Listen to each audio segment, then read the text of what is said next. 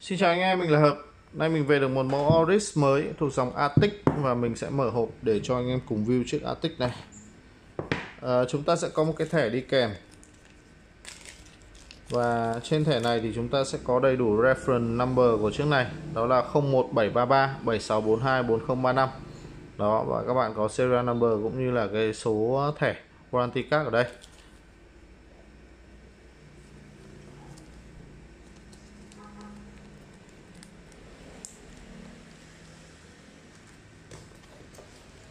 Mình sẽ trên tay chiếc đồng hồ này để ờ, cho anh em cùng view thấy.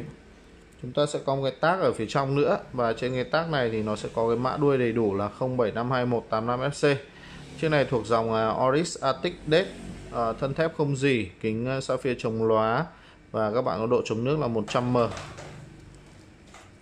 à, mình sẽ bỏ cái này ra.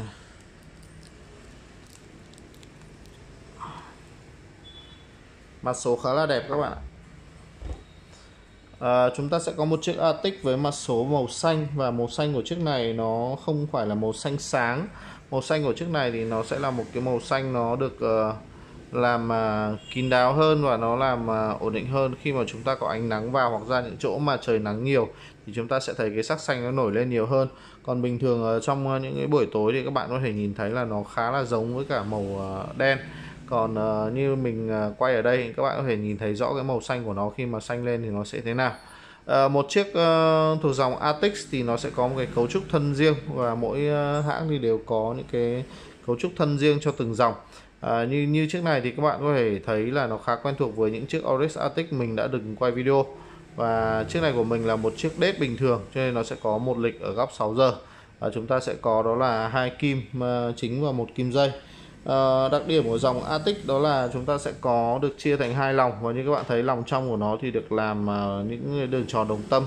Còn cái lòng ngoài của chúng ta thì sẽ được làm mịn hơn với 12 cọc số. À, toàn bộ 12 cọc số này của chúng ta đều có dạ quang và các bạn sẽ có dạ quang ở trên hai kim chính là kim giờ và kim phút nữa. Mình sẽ lên có một chút cho kim dây nó chạy đó và các bạn thấy kim dây nó chạy luôn.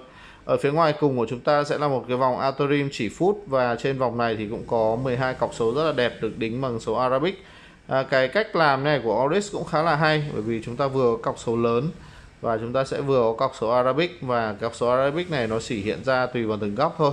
Và các bạn à, thấy này những cái góc này thì nó sẽ hiện lên sáng lên rất là đẹp cho nên là nó cũng là một cái trong những cái đặc điểm đẹp của chiếc ờ, Oris Arctic này đó, mình sẽ quay cận hơn một chút để anh em có thể thấy cái bề mặt được làm bởi những cái đường à, tròn đồng tâm của chiếc Oris à, logo Oris Automatic của chúng ta được đưa lên góc 12 giờ và chúng ta có dòng chữ Switchmate ở góc à, uh, 6 giờ. Đó phía bên phải thì chúng ta sẽ có một cái núm chính với cái logo Oris được gắn ở trên núm và phần à, thân của hai bên của chúng ta sẽ được làm bóng với một phần benzen này của chúng ta sẽ được làm mờ phay xước.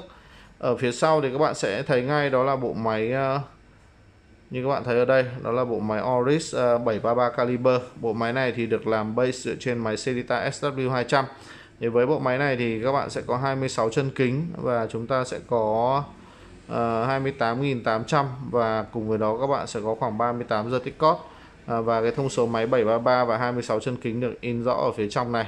À, và dĩ nhiên là à, với một chiếc Oris thì chúng ta sẽ không thể thiếu cái đặc trưng đó là một cái búa đỏ ở phía trong à, đằng sau thì các bạn sẽ còn tìm nhìn thấy những cái thông tin khác như là độ chống nước 13 à, kính sapphire thân thép không dỉ và serial number của sản phẩm. Ở đằng sau thì chúng ta sẽ có 6 cái vạch này để giúp chúng ta có thể mở xoáy cái đít này ra. À, trước này thì nó có size là 42 mm các bạn nhé. À, một số các bạn một số trang web uh, như là Zoma Shop thì nó có để size thông tin của chiếc này là 40 tuy nhiên là mình xác định với các bạn đây là một chiếc chiếc này là size 42 và với chiếc này thì các bạn có thể thấy là tay các bạn chỉ cần khoảng 16 cm ờ, thôi là chúng ta có thể đeo được rồi bởi vì cái phần lắc của nó làm khá cụt. Phần lắc này của nó thì chỉ khoảng tầm 48 mm thôi cho nên là chúng ta chỉ cần tay khoảng 16 cm là chúng ta đeo được chiếc này rồi. À, sợi dây đi kèm với nó là một sợi dây màu xanh và đây là một sợi dây uh, da dập vân cá sấu và sợi dây da B dập vân cá sấu và chúng ta sẽ có một cái khóa oris rất là đẹp đi kèm. Khóa này của chúng ta sẽ là khóa gập dấu dây. Đó và các bạn sẽ phải uh, giấu cái bộ dây vào trong này để chúng ta có thể đeo. Đó và sau đó chúng ta gặp lại. Thì toàn bộ phần dây thừa nó sẽ được giấu ở phía trong rất là đẹp. Mẫu này có mức giá hãng không phải là rẻ. Với cái mức giá hãng nó vào khoảng tầm 38 39 triệu. Thì uh, thực sự ở đây một cái mức giá cũng khá là cao. Còn với giá mà bên mình uh, săn được đợt này thì nó có rẻ hơn được một chút à, mẫu này thì bên mình đang bán với giá khoảng 23 triệu 500 nếu như anh em có nhu cầu về chiếc Oryx Attic này anh em có thể liên hệ ICS để mua và à, thử sản phẩm tại ICS à, ờ, mẫu này thì nó được cái là nó rất là cổ điển căn bản ba kim một lịch cho nên là với những bạn không cần cái sự cầu kỳ phức tạp thì đây là một chiếc đồng hồ rất là đẹp để các bạn có thể mua. Chất lượng của dòng Oryx đã được khẳng định nó tốt hơn nhiều so với những cái dòng sản phẩm như là FC hoặc Tixot nên các bạn có thể là đầu tư một chút để sử dụng một chiếc Oris thì mình nghĩ là nó sẽ tốt hơn rất là nhiều.